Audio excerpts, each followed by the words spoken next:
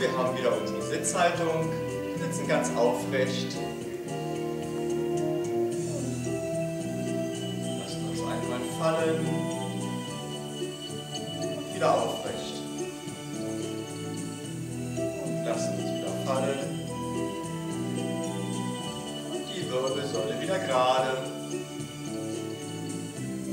Und noch einmal. Nehmen die Arme oben und einmal nach unten und wechseln.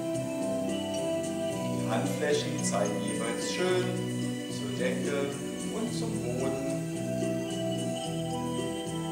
Die Arme sind ganz gestreckt.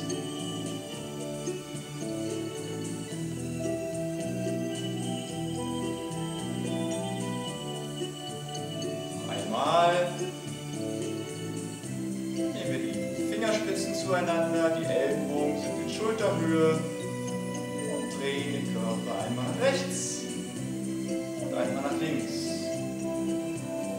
Und so weiter, immer im Wechsel.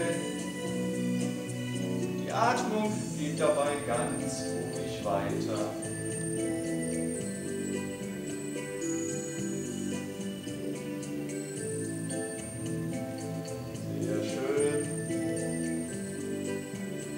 Arme hängen und drehen die Schultern immer schön nach vorn.